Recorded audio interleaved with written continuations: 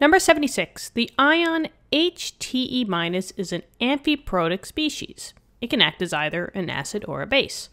And then we have letter A. So letter A says, what is the Ka for the acid reaction of HTE uh, minus with H2O?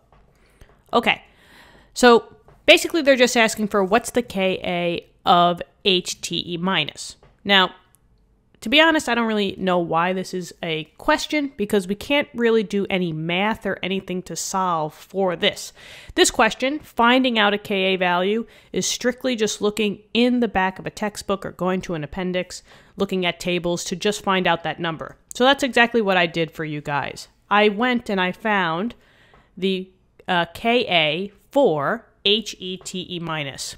You wouldn't be able to figure out this question by doing anything else. Just look up that Ka value. And that's what letter A is. So this basically just means that HTE minus is not really acidic, right? The, the Ka value is 10 to the negative 11th. So that means that in ionization, if this wanted to act as an acid, it's not really going to. Most of this is going to be at the reactants. So as it donating a proton? Very, very, very, very unlikely. Now, letter B. Letter B says, okay, what's the KB for the reaction in which HTE minus functions as a base in water? So, we have the Ka value of HTE minus, right? All they wanted to do is just basically convert the Ka value and A stands for acid. They wanted us to convert the Ka value to the Kb.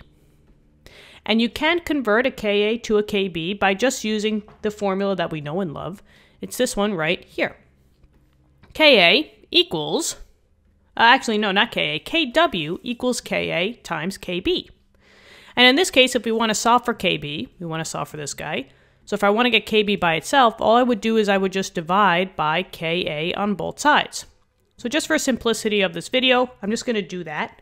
So I'm just going to say, okay, we're going to take the kW, divide by the Ka value. And because of that, we're going to equal out Kb. Now the Ka value is what we just found, right, from the, uh, the charts, 1.6 times 10 to the negative 11th. And since we used a chart in the back of a textbook, that means we were at room temperature. So we should know the room temperature KW value. W stands for water. That's always 1, or 1 times uh, 1.0 times 10 to the negative 14th. So now we know the two numbers. Let's just plug it in. So I'm going to say 1.0 times 10 to the negative 14th divided by that 1.6 value to the negative 11th. And we get out our KB value. So let's just say, okay, KB will equal something. Calcul's out. So 1 times 10 to the negative 14th divided by 1.6 times 10 to the negative 11th. We get, uh, since our Ka value was 2 sig figs, let's round this to 2 sig figs. So 6.3 times 10 to the negative 4th. And if we just compare the two of them, since the KB value is much greater, 10 to the negative fourth, to the Ka value, which is 10 to the negative 11th, that means that HTE minus is more likely to act as a base than as an acid. And that's all that I got for you guys here.